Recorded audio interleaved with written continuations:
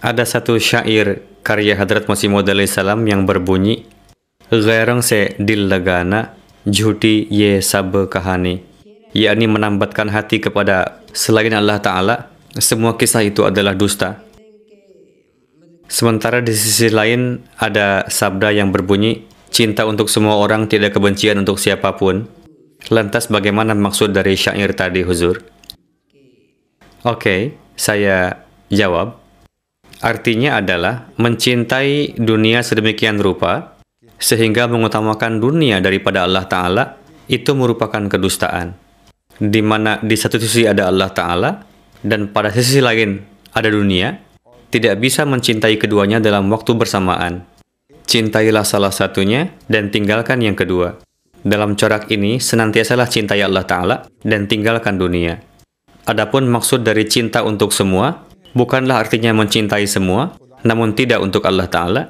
Mencintai semua karena sebelumnya kita telah mencintai Allah Ta'ala. Kecintaan yang bertabrakan dengan kecintaan kepada Allah Ta'ala, itu bukanlah kecintaan. Untuk itu, kalimat tersebut merupakan kalimat dari suatu ajaran yang sifatnya umum. Nasihat yang sebenarnya adalah yang telah disabdakan oleh Rasulullah SAW. Dengan itu masalah ini akan lebih terbuka dengan jelas. Beliau bersabda, Al-hubbu lillahi fillahi atau lillahi? Fillahi huzur. Fillahi kan? Iya. Al-hubbu fillahi wal bughdu fillahi. Jika kamu mencintai, maka cintailah demi Allah Ta'ala.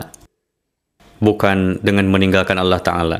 Jika kamu membenci, maka lakukanlah itu demi Allah Ta'ala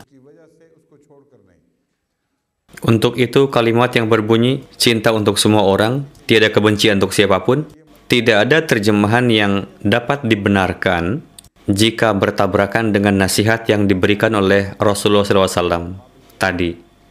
Untuk itu, saya memaknai bahwa kecenderungan umum kita sebagai Ahmadi adalah bahwa kita mencintai semua dan tidak membenci siapa pun, namun jika ada yang berbuat sesuatu yang patut dibenci, jika ada yang membuat Allah Ta'ala marah dan murka ilahi menuntut kita untuk membencinya karena Allah Ta'ala, maka kita akan membencinya.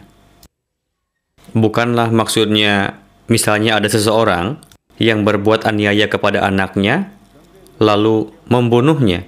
Lantas kamu mengatakan cinta untuk semua orang tidak kebencian untuk siapa pun, sama sekali keliru. Manusia yang biadab seperti itu dengan sendirinya akan menimbulkan kebencian di dalam diri kamu. Karena jika ada seseorang yang menjadi penjelmaan sesuatu yang layak dibenci, maka otomatis membencinya merupakan bagian dari fitrat manusia. Untuk itu, fahamilah sabda tersebut. Sama sekali maksudnya bukanlah bahwa dalam corak apa pun seorang Ahmadi tidak bisa membenci siapa pun.